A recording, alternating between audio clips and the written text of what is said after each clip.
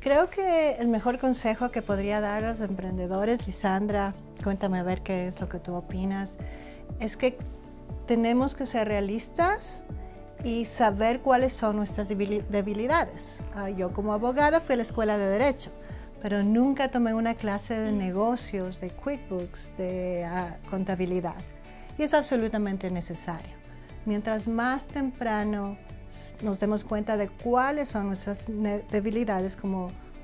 dueños de nuestras empresas, podemos delegar esos asuntos a la persona correcta y también aprendemos,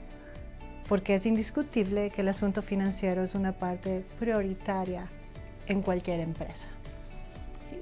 Y aparte de eso, eh, hay que aprender cómo vamos a manejar un equipo, eh, tenemos que aprender qué hacemos cuando, cuando tenemos que hacer una decisión y no hacemos la decisión correcta, no siempre tomamos las mejores decisiones para nuestro negocio, saber que tenemos que, pararnos de nuevo y aprender y mañana venir y hacerlo mejor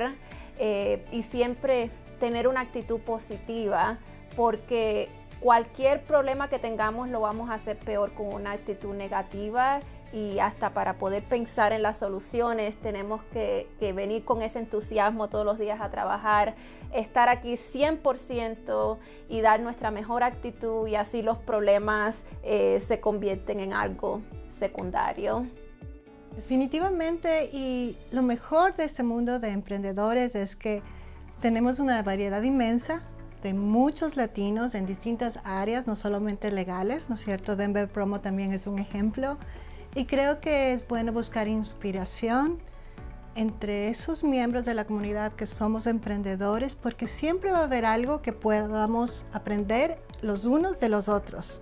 cada uno en su nicho de mercado. Sí, y como mencionabas antes, no solamente ver a, los, a las otras empresas como competencia, sino vernos todos como aliados que estamos tratando de hacer la, misma cosa y podemos aprender